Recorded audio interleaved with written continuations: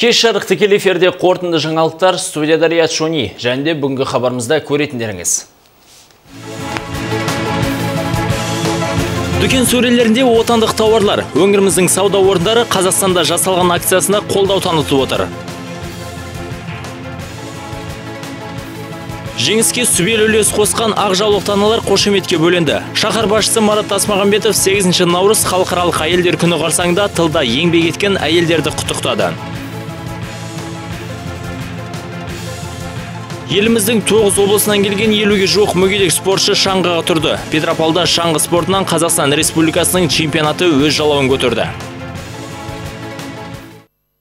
Қазақстанда жасалған өнімдерге деген сұранысты арттыру. Бұл бастама қазір теріскейде зор қолдау тауып, жер-жерде тұрғындарға өзге елдің емес, өзіміздің өнімдер кеңінен ұсынылуда.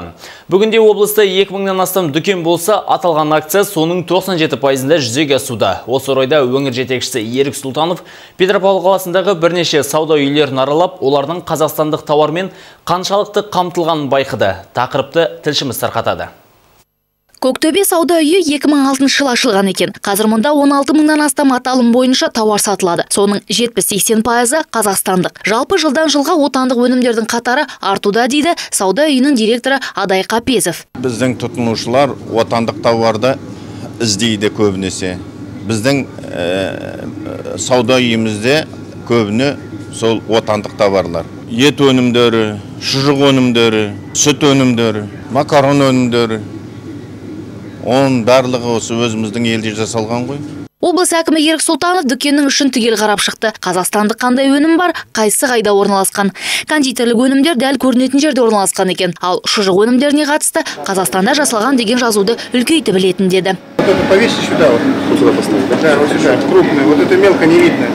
Здесь вот фрегат вижу а так непонятно. Сделано в казахстане Мұнда өзге отандық өнімдермен қатар балық өңдеумен айналысатын Белова жеке кәсіпкерлігінің тауары да қойылған. Ульянова көшесіндегі нөмір бірінші Нан плюс заңғар дүкенінде Мамлют ауданындағы арқалық шаруа қожалығының қымызын максимальный размах компаниясының тауарын кездестіруге болады. Ал түрлі нан өнімдері Петропавл нан тоқаш комбинатынікі. Сум дүкенінде Таткрафт инвест жауапкершілігі шектеулі серіктестігінің директоры Андрей Исаков өңір жетекшісіне сауда орнындағы жағдайды кіреберістен ақ таныстыра бастады. Дүкеннің төрінде азық түлік болса, бергі шеті ыдыс аяқ. Осы жерде облыс әкімі жергілікті кәсіпорынның тауарын қоюға болатынын айтты. Радуга сейчас сама делает, да? Да, уже более наименование пластмассовых изделий делает. Но я так думаю, водитель где-то не может стоять. Проходи на магазин, можно сюда тоже выставить.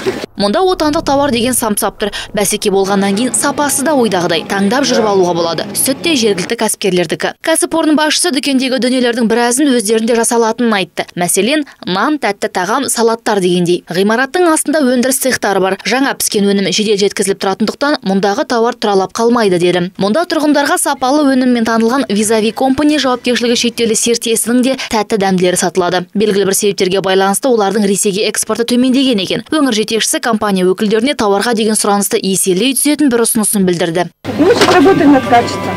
Не, молодцы, у вас э, все же хорошая продукция, но есть предложение, значит, действительно на продвижение имиджа делать надо хорошую упаковку, да, сейчас да, дизайнеров работаем, да. нанимать. У вас такая продукция красивая, можно было бы ее дарить как, как э, продукцию, да, продукцию Северного Казахстана. Дүкенде жүрген тұрғындар шетелдікіне қарағанда өзіміздікін аламыз дейді. Баға қолжетімді, әрі сапасы жақсы. Біз қазір өзіміздің ұлттық қазақстандық товарларын алып жатырмыз. Күріш, кәдімгі қызылорданың өзіміздің лидер күрішін ақмаржан күрішін алдым.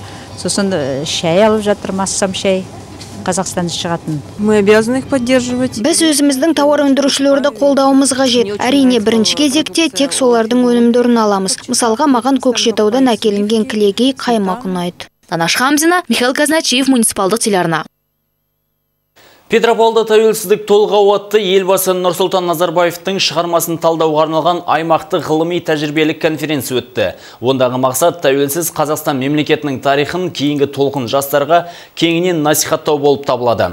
Жалпы осы орайда болашақта мектеп бағдарламасына қазақ хандығының 550 ұлы жеңістің 70 және ата заңымыз Қазақстан халқы ассамблеясының 20 жылдығына арналған бөлімдер қосылмақшы Тарих халықтың жадымен зердесі, яғни өткенді білмей болашақты болжау мүмкін емес. Бұл ретте білім және ғылым министрі үстіміздегі жылдың бірінші шілдесіне дейін мектеп бағдарламасын өзгерту туралы қаулыға қол қойды. Қазір жер жерде аталған мәселе қызу талқылануда. Ұйымдастырылған аймақтық конференция соның бірден бір дәлелі. Придаю очень большое значение сегодняшнему. Бүгінгі конференцияның мағынасы жоғары. Биыл елімізде төрт бірдей айтулы мереке аталып өтілмек. Оның барлығы тарих беттеріне алтын әріптермен жазылды. Енді тек осыны өсіп келе жатқан балаларымызға мұра қылып қалдыруымыз қажет. Бұл жолда ұстаздар қауымына жүктелер міндет зор. Болашақта оқушылардың мектеп бағдарламасына қазақ хандығының 550 ұлы жеңістің 70 конституция мен қазақстан халқы ассамблеясының 20 жылдығына арналған бағдарламалар енгізілмек аталмыш оқиғалардың қайдан әрі қалай бастау алғанын жастар тарих пәні сабағында танысатын болады атап айтсақ осыған байланысты алдағы уақытта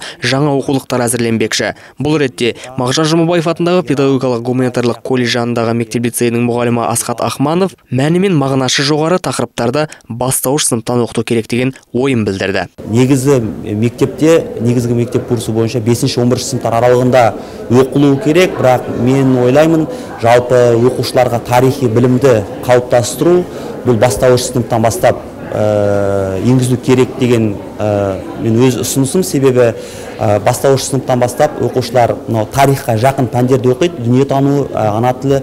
Міне осы кезден бастап оқушылардың жалпы сана сезіміне осы тарихи білімді айту керек және де тарихи білімді осы бастауыш сыныптан қалыптастыру керек деген ойдамын. Педагогтар осылайша болашақта саналы ұрпақ тәрбиелеуді көздеп отыр. Бұл жастардың патриоттық сезімдерін оятуға әсер етеді дейді ұстаздар қауымы. Глава нашего государства нұрсұлтан абиевич назарбаев. Елбасы нұрсұлтан назарбаев тәуелсіздік туралы айтқан сөзінде қазақстан халқының бүгінге дейін жеткен жетістіктерін баян етті. 20 жылдың ішінде елімізде көптеген өзгерістер орын алды. Бұл жас ұрпақ үшін тарих. Сондықтан біз алдағы уақытта кейінгі толқынмен бірлесіп ертеңгі болашақты құрамыз. Бұл ретте оқушыларды патриоттық сарында тәрбиелеуіміз керек. Сонда ғана болашағымыз баянды болады дегім келеді. Айта кету керек конференцияны облыстық білім басқармасы мен өрлеу біліктілікті арттыру институты бірлесіп ұйымдастырды.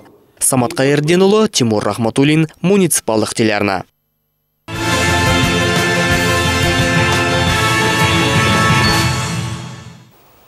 Солтүстік Қазақстан облысы бойынша мемлекеттік кірістер департаментінде үздік салық төлеушілер анықталды. Жалпы өңір бойынша бұл атауға лайық 140-қа жуық жерлесіміз іріктелген. Араларында кімнің қошеметке бөлінген туралы толығырақ келесі бейнематериалымызда. Салық төлеу Қазақстанда тұратын әрбір азаматтың міндеті. Бұл орайда бүгін Солтүстік Қазақстан облысы бойынша мемлекеттік кірістер департаменті тиісті төлемді уақытылы өтеп, ел қазынасы алдында берешегі жоқ салық төлеушілерді марапаттамақ. Жалпы өңірдегі салық төлеушілердің арасынан үздік деген атауға лайық 29 мыңға жуық жерлесіміз таңдалыпты. Солардың ішінен тағы 148 лауреат іріктеліп, ақыры 20 жеңімпаз анықталып қошеметке бөленбек. Біз таңдаған жақсы салық төлеушілерді бірнеше критерий қойдық ол тек қана салық төлеген суммасы емес. Сонымен қатар халыққа қандай жағдай жасап жатыр әлеуметтік жағдайларын қалай көтеріп жатқан сол критерийларды қосып сондықтан осындай шара және мереке өткіздік. Солтүстік қазақстан облысының үздік салық төлеушілердің қатарынан ақжарлық кәсіпкер балзинеп шарипова табылып отыр. Майская селосының тұрғыны 2003 жылы дүкен ашып селолықтарға қолжетімді бағамен азық түлік сатады. Мемлекетке тиесілі төлемдерінде үнемі мерзіммен аударатын көрінеді. Жұмысымды бұдан да шексіз жақсы істеймін деп ойлаймын. Осындай грамоталар алған баршамызға бергендерге рахмет көптен көп. Сонымен қатар кездесуде сыртқы экономика саласының үздік қатысушысы номинациясының жеңімпазда қошеметке бөленді. Риат шони михаил казначеев муниципалдық телеарна. Солтүстік Қазақстандық Михаил Тупешкин соғыс алаңын минасыздандырумен айналысқан алдыңғы қатарлы жауынгер. Ол Мурманск қаласының мыңдаған тұрғындарының тыныш өмір сүру үшін тер төккен. Ардагер мұндай қауіпті жұмыспен өткен ғасырдың 40 жылдары 719 атқыштар полкының қатарында жүріп айналысқан. Қариямен тілшіміз Ақөпе Тәңірберген тілдесіп қайтты.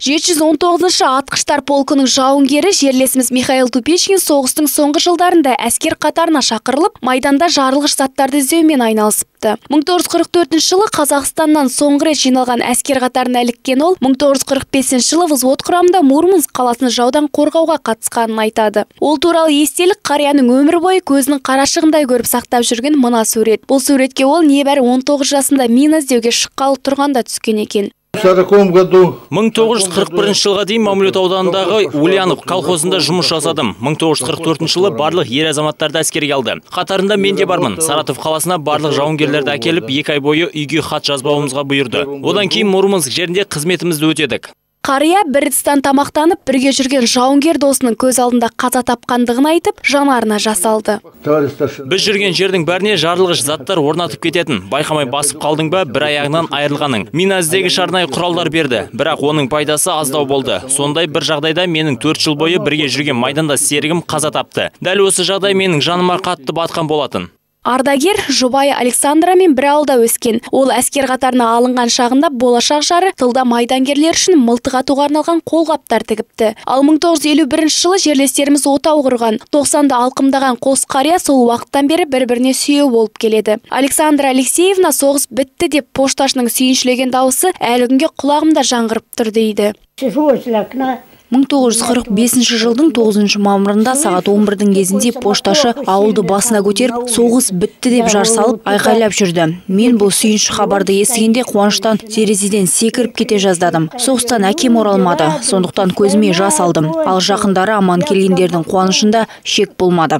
1948 жылы елге оралған соң да ардагер үшін қызмет аяқталмады. Ол зейнет жасына дейін ел игілігіне үлес қосып, тракторшы, комбайншы, бригадир болған. Бүгінде 64 жыл бір шаңырақ астында тұрып келетін қариялар 4 баладан 8 немере мен 8 шөбере сүйіп отыр. Ақбөпе Тәңірберген Жұлдызбек Ермұқанов, муниципалдық телеарна. Санаулы күндерден соң халықаралық әйелдер күні аталып өтіледі. Мейрам қарсаңында шаһар басшысы Марат Тасмағамбетов ұлы отан соғысына қатысушылармен көп бала көп балалы аналарды және тыл еңбеккерлерін, яғни нәзік жандыларды айтулы мерекемен құттықтады. Қала әкімі аналарға алғыс хат пен естелік сыйлықтар табыс етті. Тақырыпты әріптесім Самат Қайырденұлы жалғастырсын. Қалалық әкімдіктің мәжіліс залында бүгін ерекше жиын. Залда отырған ақ жаулықты апаларымыздың барлығы ұлы жеңісті жақындатуға сүбелі үлес қосқан азаматшалар. Әрі көп балаланылар. Шырайлы көктемнің алғашқы мерекесі 8 наурыз халықаралық әйелдер күнімен жиналғандарды шаһар басшысы Марат Тасмағамбетов құттықтады. Сіздерді 8 наурыз әйелдер күнімен шын жүректен құттықтаймыз. Сіздердің өмірлеріңіз басқалардан ерекше. Елбасы Нұрсұлтан Әбішұлы Назарбаев соғыс ардагерлерін әрқашан құрметтеп сіздерге аса назар аударады. Елдің ерлігіне үлес қосқан жеңісті бүгінгі күнге дейін жеткізген сіздердің алдарыңызда біз бас иеміз. Бұдан соң 15 азаматқа қала әкімінің атынан алғыс хат пен естелік сыйлықтар табысталды. Жалпы Ұлы Отан соғысына Петропавл қаласынан 27 мыңға жуық азамат шақыртылған екен. Оның қатарында нәзік жандылар да аз емес. Азаматшылардың бірі қанды майданда отан үшін от кешсе, енді бірі жеңісті жақындату үшін тылда еңбек етті. Салтанатты жиын барысында ақ жаулықты апаларымызды мерекемен құттықтаушылардың қарасы қалың болды. Бүгін қатарластарын Ұлы Отан соғысының ардагері Петр Гладков та құттықтады. Здоровья. Жеңіске сіздердің арқаларыңызда қол жеткіздік десем артық айтпағаным. Әрқайсыларыңыздың еңбектеріңізді бөліп жаруға болмайды. Сондықтан көктемнің алғашқы мейрамымен құттықтаймын. Денсаулықтарыңыз қыстай қатты болсын. Ең бастысы бұдан былай жер бетінде соғыс болмасын дегім келеді. Сапура Тәшенова 10 жасынан бастап тылда еңбек еткен жандардың бірі. Азаматша соғыс жылдары ерлермен қатар ауыр қызмет атқарған. Бүгінгі күні қария бейнеттің зейнетін көруде. Жеті бала тәрбиелеп, көп балалы ана атанды. Ел үшін қызмет етіп жүрген ер азаматтарға бәріне көп-көп рахмет. Бізді міне қартайсақ та сыйлап құрметтеп әкеп сыйлықтарын беріп бізді құрметтеп жатыр алла разы болсын қарақтарым. Бақытты өмірде болыңдар. Соғыс болмасын. Қазіргі таңда облыс орталығында нәзік жанды 17 ұлы отан соғысының ардагері мен 5 мыңнан астам тыл еңбеккері тұрып жатыр. Самат Қайырденұлы, Тимур Рахматулин, муниципалдық телеарна. Аналарды аялайық. Достық үйінде Қазақстан Халқы Ассамблеясының 20 ізгі республикалық акциясы аясында көп балалы аналарға қайырымдылық концерт өткізілді. Шарада өңіріміздің өнер ұжымдары ән жырдан шашу шашып, батыр аналарды ассамблея мүшелері құттықтады. Күлбан Шаканова жеті баланың анасы, 18 немере мен 8 шөберенің әжесі. Ұлдарының тұңғышы зейнет жасында. Қалғандары мұғалім, дәрігер, әскери салада еңбек етіп жүр. 75 жастағы батыр ананың өзі 27 жыл мал шаруашылығында жұмыс жасаған. Ол бүгінде елдегі мызғымас татулықтың болғанына шүкіршілік етеді. Ел өркендеу үшін әр отбасында он шақты бала болу керек. Олар ынтымақты бірлікті болу керек. Жалпы елдің әйелдерін осы мерекемен құттықтаймын Ә, елбасымызға амандық берсін деп тілеймін Ә, әрдайым осындай ынтымақ бірлік болсын деймін Бұл залда көп балалы аналар отыр. Бүгін нәзік жандардың құрметіне домбырада күй шертіліп, көктем махаббат аналар тақырыбында өзге тілдерде әндер шырқалды. Кейбірі орындарынан тұрып, би билеп, әртістерге қолдау көрсетті.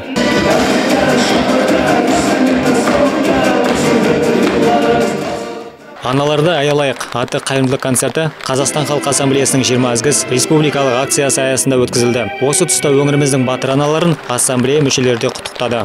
қазіргі өзіңіз білесіз демографияның сондай бір жастар аса сол демографияға үлес қоспай жатыр деген сияқты сол сондықтан қазір мына демографияны кішкене көтеру үшін сол насихаттау үшін қазіргі біздің еліміздегі халқымыз кө- көбею үшін Аналар бір қолымен бесікті тербетсе, бір қолымен әлемді тербетеді деген рас. Нәзік жандар бүгінде бала тәрбиелеу ісімен айналысып қана қоймай, сонымен қатар әлеуметтік істерге де белсенді араласып жүр. Халықаралық әйелдер мерекесіне орай ұйымдастырылған концерт соңында нәзік жандарға гүлдер сыйланды. Берік Қасен, Владимир Боровков, муниципалдық телеарна.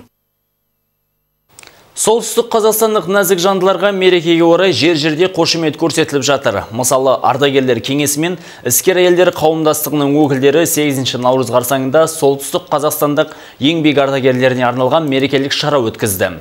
Қоғамға қосқан зор үлестері үшін қарт аналарға шын жүректен алғыс айтылып, сыйлықтар тарту етілді.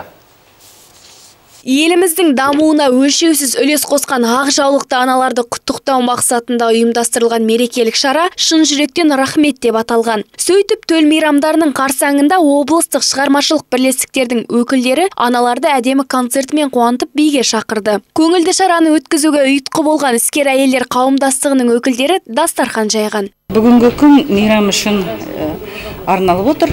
Үлкен кісілерді бүгін шақырып, іскер әйелдер қоғамы рахметін айтқысы келіп отыр. Э, Рахметімізді айтамыз. Бұл азаматшылар, біздің ханымдар, э, біздің апаларымыз, әпкелеріміз, олар әрқашанда алға басып жүрген азаматтар, елімізге жұмыс істеген, Мерекелік кешке арнайы шақырылған қонақтардың бірі Орынбасар Жұмағұлова Тайынша ауданынан келіпті. Еңбек ардагері әрі алтын алқа егері өз құрсағымен көтерген 10 баласынан бөлек қайтыс болған қайын інісінің үш баласын өсіріпті. Бүгін міне әйелдер күніне қарсы бізді жинап отыр. Еңбек ардагері ретінде мен өзі он баланың анасымын. Үш баланы жетім тәрбиелегім.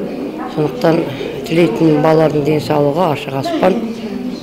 Қашанда балалар көп болсын. Мерекелік құттықтау шарасына 40-қа жуық нәзік жанды жиналды. Оның барлығы дерлік еңбек ардагерлері мен көп балалы аналар. Шара соңында кешке қатысушыларға гүл мен алғыс хат табыс етілді. Мерекенің иелері көтеріңкі көңілмен тарқасты.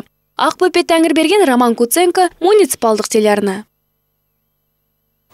Бүгінде өңіріміздің емдеу мекемелерінде адамның тән ғана емес, жандағы жарасын емдеп жазатын жандар аз емес. Солардың бірі Айман Болатова. Ол облыстық онкологиялық диспансердегі химиотерапевтік бөлімшені 21 жыл басқарып келеді. Ақ жүректі Абзалжан күрделі обыр дертіне шалдыққан басқа аналарды өмір үшін күресуге жігерлендіруде. Бүгінде өзі де ұл мен қыз тәрбиелеп отырған ақ халаттымен тілшіміз Берік Қасен жүздесті. Айман Болатова облыс онкологиялық диспансердегі химиотерапевтік бөлімшесінің меңгерушісі. Ол таңғы сағат 8-де жұмысына жақсы көңілмен келеді. Күндегісін ұжыммен кеңес өткізіп, емделушілердің денсаулығын сұраудан бастайды. Мұнда жылына обыр дертімен ауыратын 3000 науқас ем алады екен. Кейбір пациенттердің өмірі қыл үстіне болса да, дәрігерлер оларға жылы-жылы сөздер айтып, көңілдеріне сенім ұялатады. Айман Булатовна, квалифицированный специалист. Айман Болатқызы біліктілігі жоғары маман. Ол медициналық қызметкерлерді жақсы басқарады. Соның арқасында осы жерде темірдей тәртіп бар. Дәрігерлер науқастарға мейіріммен қарайды. Үнемі келгенде жылы қабақпен қарсы алады. Дәрігерлер көңілге демеу береді. Мен осында өзімді жайлы сезінемін. Өмірге құштарлығымды арттырып, еңсемді түсірмеуге тырысамын. Я уже наблюдаю сегодня пятый год. Дәрігерлерге қаралып жүргеніме биыл бесінші жыл. Айман Болатова еңбекқор, жауапкершілігі бар адам. Мен оны алдымызда келе жатқан халықаралық әйелдер күнімен құттықтаймын. Ол кісінің қолы да жүрегі де алтын. Айман Болатқызы мамандығын дұрыс таңдаған екен. Мен оған да мықты денсаулық, әйел бақытын тілеймін. Ұзақ ғұмыр кеш, сен бәріне керексің. Жоғары санатты дәрігер Айман Болатова әріптестері арасында да сыйлы. С Айман Булатовной работаем уже в течение 12 лет. Мен Айман Болатовамен 12 жыл әріптеспін. Ол өз ісінің шебері десем қате айтпаймын. Ол кісімен жұмыс істеген мен үшін жеңіл. Айман Болат қызы адамдарды жақсы түсінеді. Бүтіндей бір бөлімшені басқарғасын кейде оған қатал болуға да тура келеді. Ол адамның бетін қақпайды. Оған жұмыста не үйде туындап қалған жеке проблемаларды айтып берсең, бірлесіп шешуге немесе кеңесін беруге тырысады. Мен оның сол ерекшелеп айтар едім. Айман Болатованың еңбегін еліп, бұрынғы емделіп кеткен науқастар оған жиі келіп, алғыстарын білдіріп тұрады екен. Бывают такие иногда истории. Осыдан 15 жыл бұрын бөлімшеге сүт безінің қатерлігі ісігімен бір әйел емделді. Өкінішке қарай бүгіндері арамызда жоқ. Бірақ көзі тірісінде жұмысыма келіп, маған алғысын айтып кетті. Өйткені оның еңсесі түсіп жүргенде мен өзің үшін өмір сүргің келмесе де, балаларың үшін өмір сүр деп кеңес берген едім. Сол сөзімді келіншек жадына сақтап қалыпты. Ол маған келіп жалғыз қызының бірінші сыныпқа барған университетте оқығанын және кейін тұрмысқа шыққанын айтты. Ол осылайша қызының көз алдында өскенін жанұя құрғанын көрді. Айман Болатова медицина саласын ата-анасының қалауы бойынша таңдағанына еш өкінбейді. Тіпті оның балалары да ана жолын қуғанын қалайды. Нәзік жанды адамдар өмірінің әрбір сәтін бағалай білу керек деген ойда. Какая бы болезнь ни была, с ней надо бороться. И бороться за каждый день свой. Қайсы бір айықпас күрделі дерт түрі болса да, әрбір жан өмір сүру үшін туған балалармен мейлінше көп уақыт өткізу үшін арпаласуы тиіс. Кей кездері ондай күрес өз нәтижесін береді. Ақ халатты Абзалжан халықаралық әйелдер мерекесін наурыздың жетісі ұжыммен тойлап келесі күнін жанұясына арнайды. Айман Болатова бүгінде жұбайымен ұл қызын тәрбиелеп отыр. Берік Қасен Владимир Боровков, муниципалдық телеарна. Колхоздастыру кезінде Күлзе Қазыбаева әкесінен ерте жетім қалған. Қызылжарлық тұрғын өзінен кейінгі бауырларын бағып, науқас анасына қарайлап қана қоймай 14 жасынан сауыншылықпен де айналысып, еліне еңбегін сіңіре, білген. Алты баладан 16 немере, 4 шөбере өрбітіп отырған ана күміс алқа егері. 8 наурыз халықаралық әйелдер мерекесі қарсаңында қартана 77 жасқа толды. Батыр ананы қос мерекесімен тілшімізде құттықтады. Сексенді алқымдаған ана өз өмір жолын колхозда сауыншы қызметінен бастаған. Отағасы болса еңбек ардагері екеуі бір шаңырақ астында елу жыл отасқан. Елу жылдық алтын тойлары өткесін қосағы дүние салған екен. Тыл ардагеріне берілген мына медальды Күлзе апамыз көзінің қарашығындай көріп кеудесіне тағып жүретін болған. Ал мына күміс алқаның бірі 1988 жылы Кеңес одағының тұсында алған. Екіншісі 2012 жылы елбасымыздың жолдағаны. Колхоз именно Ленина Совет ауданында еңбек істедім второй класс животновод деген не берді документ берді. Сонымен пенсияға шықтық. Пенсияға шыққаныма да 25-26 жыл болып қалды. Сонымен осылай еңбек етіп осындай жағдайға жетіп отырмыз мінекей. Алланың берген денсаулығыменен. Немере шөберелерінің қызығына батқан ана балалар есейгесін арман тілек өзгеріп алыстай береді. Кішкентайларын жақсы көремін, олардың тілдері тәтті дейді.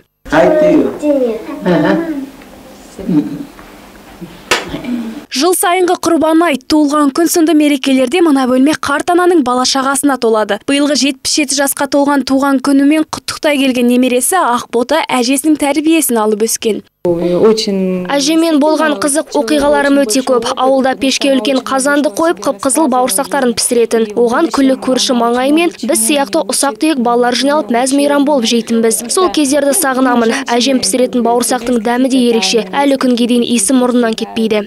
Балаларының үлкені зейнет жасына шықса, кішісі қырықтан асқан. Үш жыл үш қыз өсірген ана күйеу баласы мен келіндерінде туған перзентіндей көреді. Оларға деген аналық мейірімін төгіп, өз тәрбиесін бере білген. Она мне сказала, заходи. Бұл отбасына келгенде ол кісі менің алдымнан шығып табалдырықты оң аяғыңмен атта деді. Сол күннен бастап маған ана орнына ана бала білді. Алғаш келгенімде мен тіпті тамақ әзірлей алмайтынмын. Маған үй шаруасымен айналысуды, тамақ әзірлеуді үйретті. Нәзік жандыны туған күнімен қатар келетін халықаралық әйелдер күнімен құттықтайтын тек өз бала шағасы ғана. Күлзия Қазбаева бүгінде 6 баладан 16 немере 4 шөбере сүйіп отыр. Қарт ананы айтулы күндері шенділердің тарапынан елеусіз қалатындығын жылтады. Ақбөпе Тәңірберген Владимир Боровков, муниципалдық телеарна.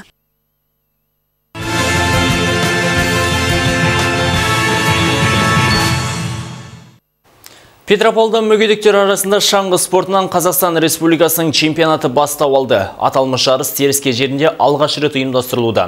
Оған өз бақтарын сынауға еліміздің 9 облысы мен Алматы қаласынан елуге жуық спортшы жиналды. Василий Дедов шаңғы спортымен екі жыл бойы айналысып келеді. Көз жанарынан айырылған спортшы Петропавлға ат басын алғаш рет бұрып отыр. Өткен жылы Көкшетау қаласында ұйымдастырылған жарыста ол сәтсіз өнер көрсетіп, үшінші орынға тұрақтаған. Жарымжан биыл өз бағын тағы бір сынауға бел буыпты. У нас нету победителей и проигравших. Бізде жарыста жеңімпаз жоқ. Барлығымыз шаңғыға тұрдық. Демек барлығымыз да мықтымыз. Медальдарға қол жеткізіп жатсақ, ол да бір жетістік. Сол себепті де барлығына сәттілік тілеймін. Шаңғы жарысынан Қазақстан Республикасының чемпионаты теріскейде алғаш рет ұйымдастырылып отыр. Оған тірек қимыл жүйесі зақымданған және нашар көретін спортшылар қатысуда. Барлығы 9 облыс пен Алматы қаласынан келген 50-ге жуық спортшы екі күн бойы мықтыны анықтауға жиналды. Тірек қимыл аппарат зақымдалғандар бір топты, олар халықаралық стандарт бойынша өздерінің бөлімдері бар соған байланысты жарысады. Және көру қабілеті бұзылғандардікі оларда өз араларында бөлек жарыс өткізіледі. Әйел, әйел адамдармен және ер адамдар бөлек сайысқа кіріседі. Сайыс қорытындысы бойынша барлық жеңімпаздар мен жүлдегерлер диплом кубок және де медальдармен марапатталады. Риат шони жұлдызбек ермұханов муниципалдық телеарна. Бүгінге айтарымыз осы. Келер тәулік жағымды жаңалықтар әкелсін. Амандықпен жүздескенше. Сапалы былғары юничел аяқ киімі. Жаңа көктемгі топтама.